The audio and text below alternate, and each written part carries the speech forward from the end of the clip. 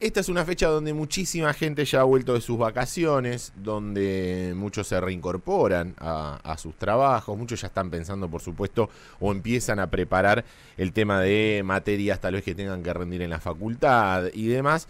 Em, y eso, por supuesto, que eh, genera una especie de, de estrés post vacaciones. Para charlar sobre el tema estamos en comunicación telefónica con el licenciado en psicología, Pablo Pilet. Él es además profesor de yoga, preparador físico también. Pablo, acá Diego te saluda desde Radio Sí. ¿Cómo estás? Buen día.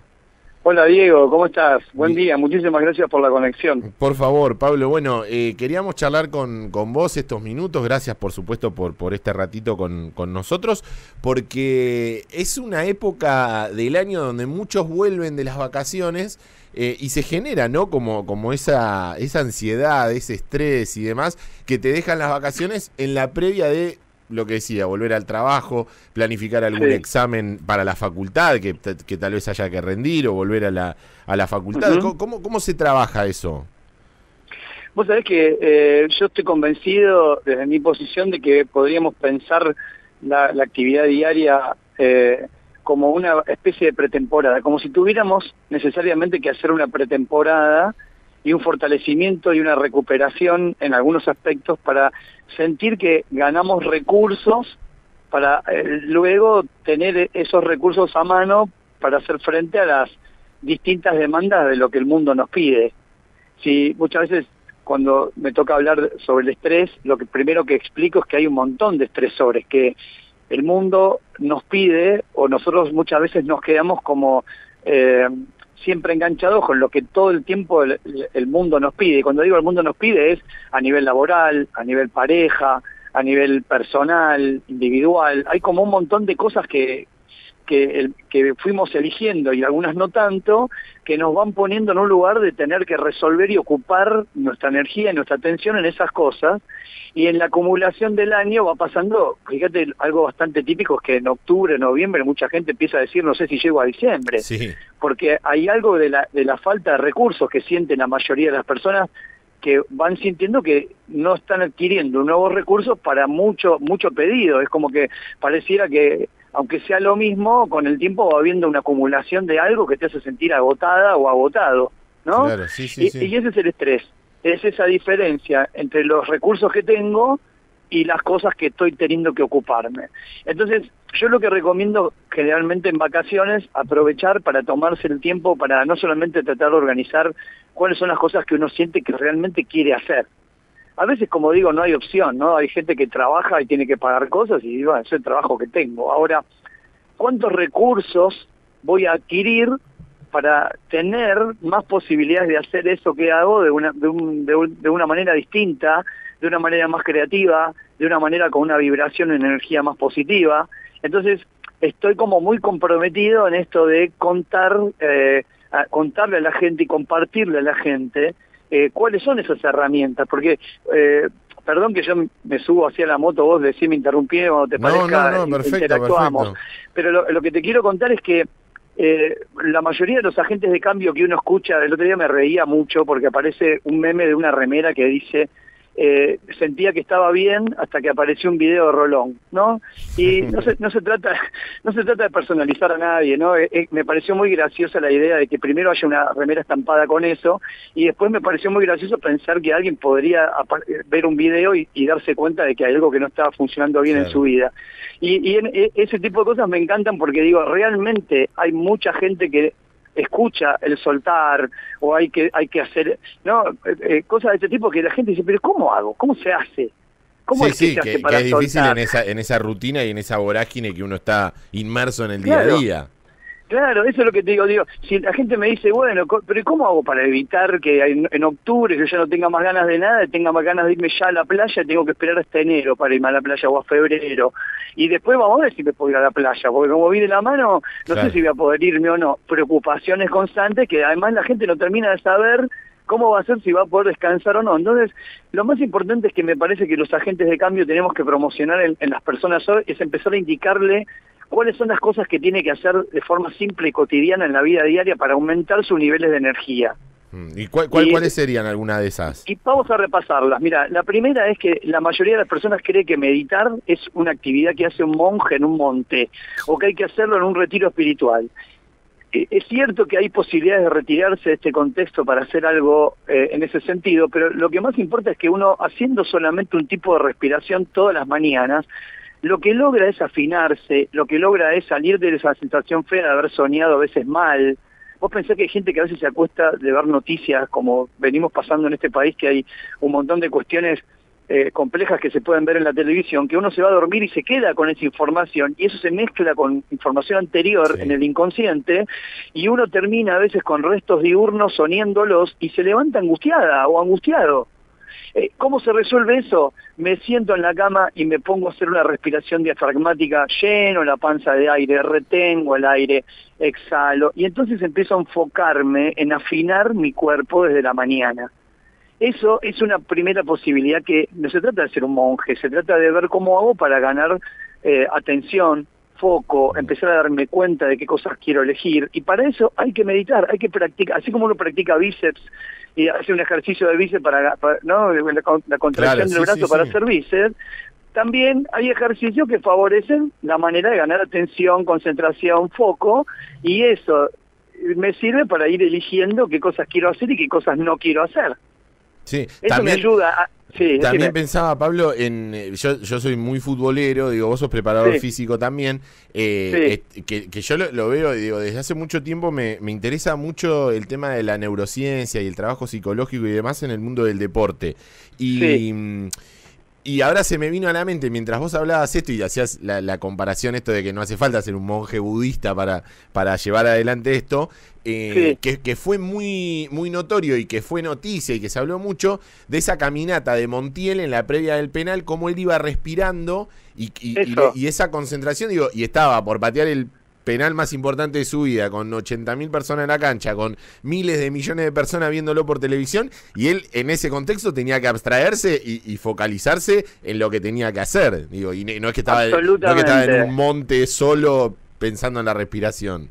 Pero vamos al plano del fútbol, yo tengo especialización en deportes eh, y te quiero dar este ejemplo que lo vas a entender entonces perfecto acordate lo que fue el, el, penal que patea Messi en, en, el final de la Copa América, que la cuelga en la tribuna. Sí, tal cual. Ese, ese penal que cuelga en la tribuna, dos partidos antes, mete un gol contra Estados Unidos desde un ángulo rarísimo, le pega con la pelota en un ángulo rarísimo, termina clavando en el ángulo del lado izquierdo, del, lado, izquierdo del arquero. y nadie entendía cómo le pega la pelota desde ese lugar tan raro, con una barrera de siete tipos adelante, y en, en una final, en la Copa América, la cuelga en la tribuna. ¿Cuál es la explicación de eso? Esa es la demostración más importante de la presión que hace el inconsciente sobre un ser humano. Lo que me decís de, Montiel, también lo podemos observar en Messi en dos actitudes. La primera actitud, en vez de decirle al jugador de Holanda, después conversamos sobre lo que no me gustó en la cancha, le dijo, ¿qué mirá bobo? ¿Qué mirá bobo? ¿Qué mirá bobo? ¿Qué mirá? A los gritos adelante en una eh, entrevista que podría salir a, conversarse asertivamente, él instintivamente, es puro instinto Messi. Sí. Cuando, cuando interviene la cabeza en un deportista, fuimos, sonamos. Entonces, ¿qué hizo la, persona que lo coachó también a Messi? Le dijo, respira, fíjate los finales que pateó Messi, respiró igual que Montiel, los pateó seguros al medio, hizo los goles que tenía que hacer y no colgó nada en la tribuna comparado con el trabajo. ¿Eso qué quiere decir? Que la psicología, que la meditación, que el foco, que el mindfulness es una herramienta que sirve para que empecemos a estar presentes en el aquí y ahora, para empezar a tomar decisiones más saludables que esta preocupación constante que tiene el ser humano, que este es el dato que todos se van a aburrir de mí, que yo lo repito, el ser humano tiene 70.000 pensamientos diarios, Diego, 70.000 pensamientos por día del pasado y del futuro, que anticipa todo el tiempo lo que podría pasar respecto de lo que le pasó. Y en ese contexto, un ser humano no tiene chances de elegir lo que quiere vivir en el presente, porque está condicionado toda su vida, si no cambia, a vivir de esa misma manera. Entonces es urgente que vos me hagas esta nota a mí, porque hay algo que tiene que empezar a cambiar porque todos los oyentes que están ahí escuchando no tienen que empezar a tomar la decisión estando ahora en la playa o estando en su casa donde estén a tomar la decisión de empezar a elegir las cosas de otra manera. La actividad física. ¿Saben las veces que escuché no tengo tiempo para hacer actividad física porque trabajo mucho? Cuando en realidad lo que tendrían que decirme es necesito ganar recursos porque elegí trabajar de lo que elijo y entonces para trabajar mejor tengo que hacer actividad física. El cuerpo humano funciona como un dínamo. Si yo hago actividad física gano energía y si gano energía tengo más chance de trabajar mejor de lo que elijo trabajar. En cambio de eso la gente piensa que no tiene tiempo porque, trabaja, porque trabaja mucho. Eso es al revés de la lógica si no parecía a decirme, en vez de el otro día escuché un neurólogo que decía, porque hay que escribir un libro de gratitud. Pero hombre, ¿cómo vamos a escribir un libro de gratitud si la gente no sabe lo más básico, fundamental? El libro de gratitud va a surgir después de que haga todas las cosas previas que tiene que hacer para escribir el, libro de gratitud. Para, llegar a eso. Pero ¿cómo llegamos al libro de gratitud? Si es la cantidad de pasos que faltan, anda preguntando a cualquiera de las personas que vive hoy en este país si tiene ganas de escribir un libro de gratitud. Eso, eso es estar desajustado a la realidad. Eso es no entender la realidad y no es una crítica, es, empezar a hablar seriamente como agente de cambio de qué cosas tiene que hacer nuestra gente para adaptarse fisiológicamente a esta realidad que nos toca vivir. No es adaptarse a la nueva tecnología. Sí, muy, eh, en, un, ejemplo muy muy lindo, Rolón, en su libro La felicidad, que lo recomiendo, dice, en, en una época nos tocábamos el timbre para jugar 10, 15 pibes a la pelota, hoy están todos cada uno con su tablet y nadie le da bola a nadie, porque este es un mundo tecnológico que invita al consumo y a la desmesura. Excelente, Rolón. Excelente revisando esos conceptos, Rolón. Ahora, ¿qué hacemos, Rolón? ¿Cómo hacemos para salir de ahí?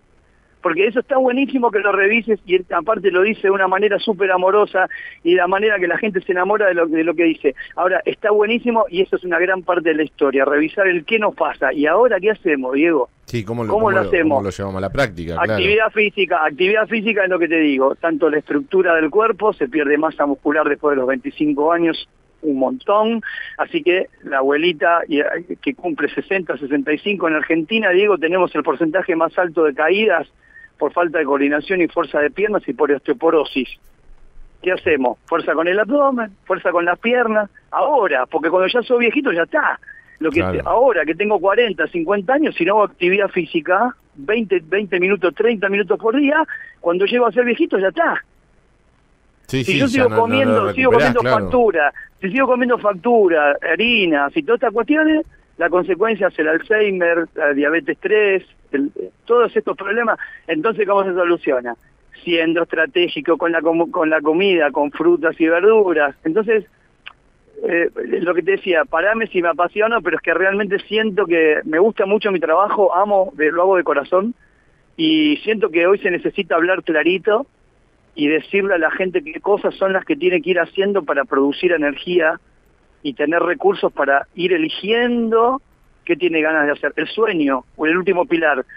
El, Hospital Fernández dice, el segundo motivo de intoxicación que tienen los seres humanos hoy es el consumo de medicamentos para dormir.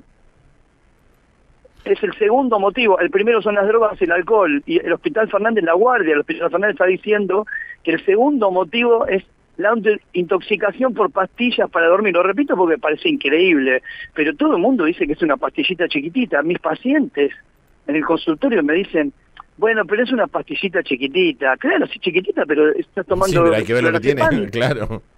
Estás tomando dos y medio de clonazepam hace 10 años. 10 años que una pastilla pega, para hablarlo, para que se entienda, tiene tolerancia a 6 meses un ser humano puede tomar una pastilla dada por un psiquiatra, por favor no tomen medicación por sí mismo, porque un psiquiatra te da una medicación para sostenerte, para contar un problema que tenés, para liberarte de lo que te pasa. No, no hay que tomar medicación para dormir. No, y además, además pienso, eh, Pablo, esto que vos estás diciendo, que tal vez la causa por la cual uno llega a tomar esa pastilla para poder dormir, porque no puede dormir o duerme mal y demás, es, es como el, resultado final de, de, todo lo que hablábamos antes, digo, de la poca actividad física, de la mala alimentación, o sea, si se mejora lo otro y se, se va corrigiendo como eso que se hace durante el día, a la noche no va a hacer falta llegar a, esa pastilla.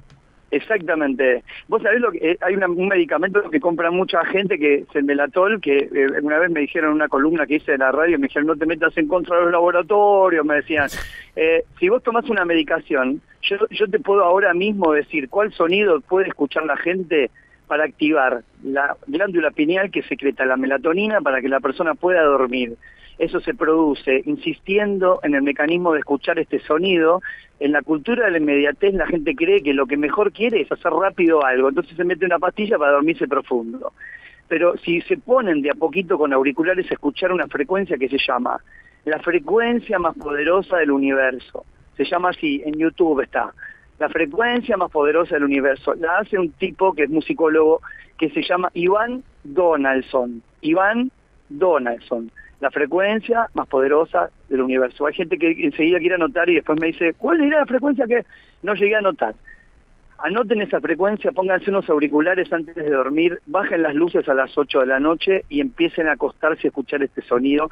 Y la glándula pineal, por causa y efecto, no por creer en ningún santo, sino por causa y efecto, hace una vibración en la glándula pineal que secreta la hormona melatonina que te permite dormir profundo.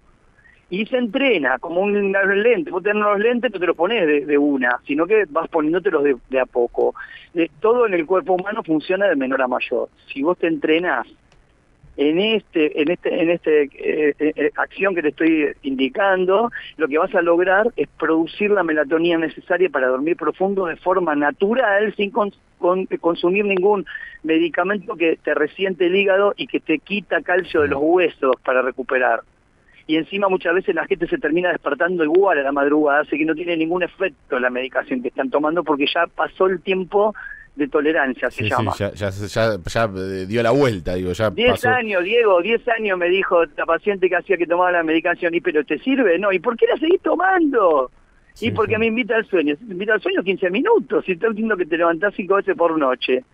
¿Cuál es la gracia? Esto, que decías de, del entrenamiento, eh, pensaba en esto de hace 15 años que no hago nada voy a correr una maratón de 42K, viste, de entrada. Ay, no, eso, eso es una locura. Eso es una locura. Pasar de 0 a 100, como nada. Sí, pero eso viene de los niveles de exigencia y de la desmesura que te decía antes. realmente es una desmesura. Entonces, yo te digo sinceramente, yo el, 16 de marzo voy a hacer una, presentación en Palermo Sojo con mi compañera de trabajo con la quien estamos trabajando. Invito a los oyentes que estén eh, ganas, con ganas de participar de algo así, porque ahí lo que vamos a hacer es dar todas las herramientas para que las personas se den cuenta de cuánto patrón repetitivo estamos teniendo de cosas equivocadas que lo único que producen es acumulación. Si vos te pones a ver, la mayoría de las cosas son una acumulación de algo que termina resultando, porque una persona que no dice nada y se queda siempre callada. Le enseñan de chico que le dicen, vos tenés que respetar a los mayores, tenés que quedarte callado y no decir nada. Esa persona aprende a quedarse callado y toda su vida se va quedando callado, haciendo lo que los demás le piden sin pensar en sí mismo.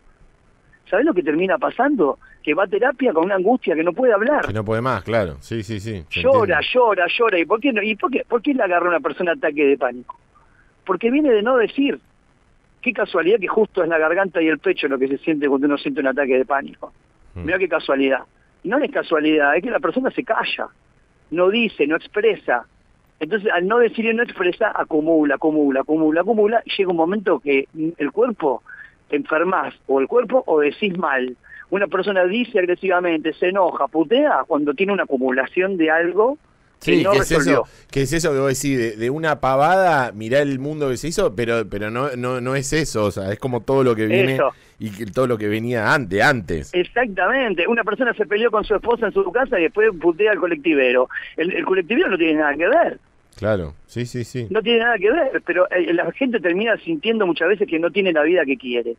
Entonces las vacaciones solucionan 15, 20 días, pero si no encontramos hoy los cambios y los recursos para poder vivir el año como, como pudiera, de la mejor manera que pueda, porque yo te decía, muchas veces no tiene la gente la suerte que tengo yo de trabajar de psicólogo o de profesor de yoga. Mucha gente tiene que trabajar de lo que puede trabajar esa gente igualmente le podemos decir, mire, tiene estas cuatro o cinco cosas que tiene que hacer básicas para poder hacer esto que hace de la mejor manera y después ir buscando cómo se va a nutrir desde otro lado.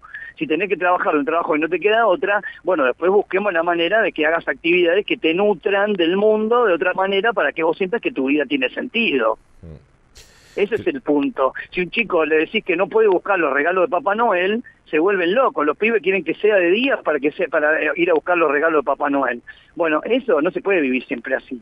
Cristiano Ronaldo es la expansión máxima festejando un gol. Y un depresivo no se puede levantar de la cama. Esos son los dos polos. Lo que nosotros queremos es buscar un punto de equilibrio, que eso se logra haciendo acciones. Ninguna empresa te va a vender ningún producto para que estés feliz si no hay una felicidad interna primero. Y eso se genera, Diego, se hacen acciones y, los quiero invitar a todos el 16 de marzo, como te decía, en el espacio cultural divergente. Voy a estar en Palermo Sojo con mi compañera dando una charla sobre estas cosas. Me encantaría que los oyentes vengan porque realmente es muy importante hacer cambios y acciones para poder vivir mejor. Pablo, ¿dónde, dónde te contactan? Eh, decinos tus redes, ya, ya nos estamos quedando sin tiempo, pero decinos tus redes, ¿dónde, dónde pueden... Eh, licenciado, guion bajo, LIC, L-I-C, guion bajo Pablo Piliet. Estamos en, en, armado todavía de, de, los espacios de la, de la consultora que, que se está gestando eh, para trabajar con grupos y organizaciones, pero para contactarme ahora directamente y para preguntarme sobre el evento o lo que quieran, LIC es licenciado guion bajo Pablo Piliet. El apellido es P-I-L-L, de Laura, dos veces L, E-T, Pablo Piliet. Perfecto. Licenciado guion bajo Pablo Piliet contactemos a partir de ahí y les aseguro de mil amores que, que, voy a tratar de aportarles todas las herramientas para que haya recursos para empezar este año 2024 de una manera distinta, sabiendo que se viene bravo el, océano está picadito, vamos a ver cómo hacemos para mejorar la técnica de surf, para eh, surfear en este océano tan picado. Pablo, muchísimas, muchísimas gracias por este rato con, con nosotros. Seguramente volvamos a, contactarte más adelante. Sería un placer para nosotros tenerte nuevamente acá en el programa. Muchas gracias. Lo mismo, Diego, me sentí muy cómodo. Muchísimas gracias por permitirme hablar. Soy a veces muy apasionado, así que gracias por la paciencia y estoy a disposición para cuando quieran. Un fuerte abrazo. Chau, chau. Abrazo para vos. Chau, Charlábamos con el licenciado Pablo Piliet, bueno, cómo superar un poco el estrés post vacaciones.